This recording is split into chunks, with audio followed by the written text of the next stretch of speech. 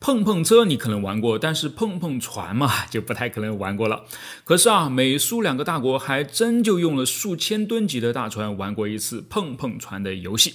那是在一九八八年的二月，著名的黑海撞船事件。国际海洋法里面呢有一个概念叫做无害通过，它是这样定义的：如果船舶从国际水域的一个点通过尽可能短的航线驶向国际水域的另外一个点，而这条航线恰恰落在了别国的领海里面的话，那么你只要保证在经过时不损害该国的和平秩序或者是安全，就是可以的。不过定义虽有，但是解读依然还是看个人，尤其是还在冷战中的美苏，那当然是各有各的解释啦。美国人认为，哎，这是法律赋予咱的权利啊，既然有了权利，就必须要使，就必须要开着船过去晃，而且啊，到越有争议的地方晃，还越带劲儿呢，这样才能给全世界树立一个遇事不怕的好榜样。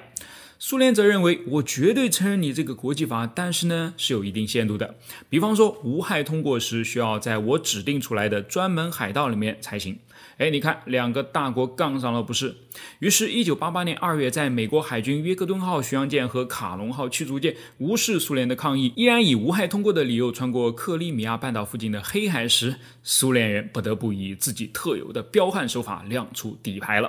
是的，咱不上升到动物，但撞你我总行吧？两艘苏联的护卫舰虽然吨位上跟美国人差了不少，却非常专业的撞了过去。哎，是既解了气，又让对方知道我是在玩真的，还没有造成什么大的损失，拿捏的恰到好处啊！哎，果然这一撞呢，反而促成两个大国坐下来，达成了几项之前一直悬而未决的海上争端。哎，也是挺讽刺的啊。